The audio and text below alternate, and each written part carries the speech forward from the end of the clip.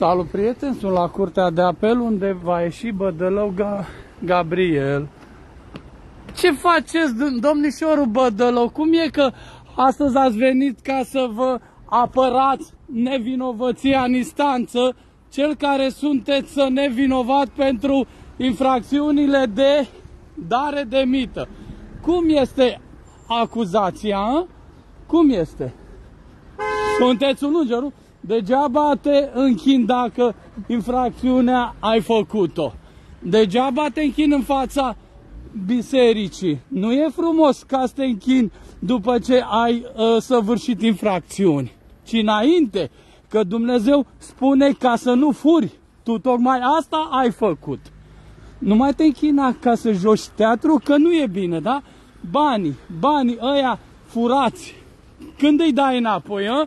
banii furați, când îi dai înapoi, a? șpaga luată, ilegal, bădălău Gabriel. Hai că în instanță ai spus că vrei să vorbești cu mine, dar când ieși afară, ioc. Nu?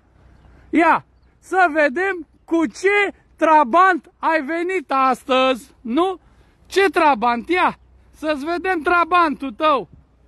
Ia, să vedem cu ce tra... O, astăzi a venit cu un trabant mai înalt, adică i-a schimbat osa. Osia, ia uitați-vă, ia, să vedeți cu ce trabant a venit Bădălău, Gabriel, care astăzi și-a uh, Astăzi a avut contestația împotriva deciziei Tribunalului Giurgiu care a dat începerea judecății pentru infracțiuni de corupție. Bădălău Gabriel și astăzi a spus că el nu este vinovat, că el nu a săvârșit infracțiuni de corupție. Hai cât infracțiunile concepute de către TASU. Corupția, șpaga, excrocheriile. Ia uitați-vă cu ce mașină săracul Bădălău, excrocu, borfașul vine. Un trabant.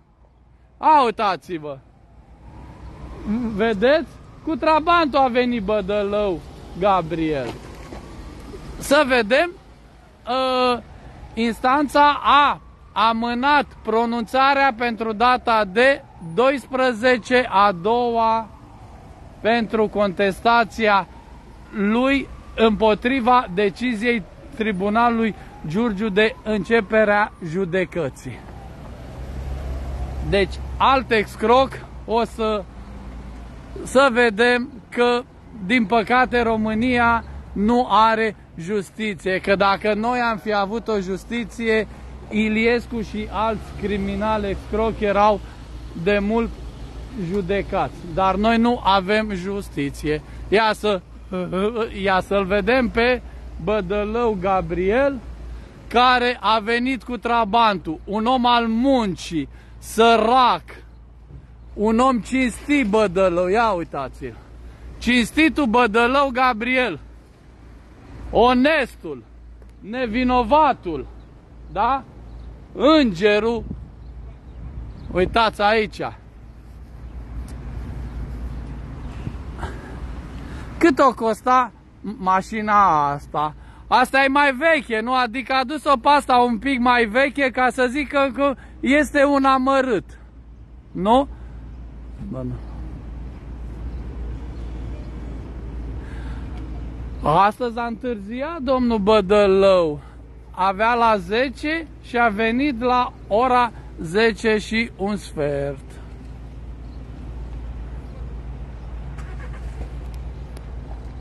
Să-l întrebăm doar cât costă mașina.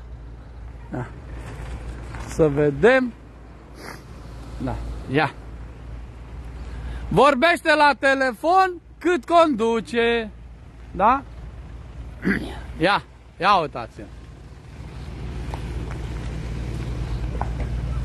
Nu vorbi la telefon când conduci mașina Bădălău. N-ai voie, știi, nu? Cât costă mașina asta ieftină? Dacia asta? A, uitați. Adică el nu umblă cu orice mașină excrocu Bădălău Junior. Nu umblă. Umblă numai cu dastea mari, puternice, dar el vorbește la telefon și că el respectă legea. Cât costă această mașină? Cum de ți-ai permis ca să ți-o cumpără? Unde ai lucrat ca să-ți permiți așa mașină, domnul Bădălău? A? Juniorul. A, uitați, ce mașină are? Biturbo! Nu? Excrocu. Abia aștept. Ia, ceasul, cât costă ceasul? A? Cine? Tata? Și mama? Bă, nesimțire! După ce că ești borfaș, mai și înjur, bă, excrocule! Ăsta a fost Bădălău Junior, care este un om cinstit, n-a furat, n-a luat șpagă, n-a făcut nimic. Ăștia sunt cinstiții. Asta este realitatea.